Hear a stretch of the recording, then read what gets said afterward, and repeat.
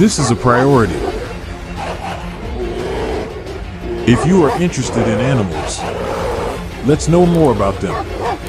But before we start, don't forget to subscribe. Turn on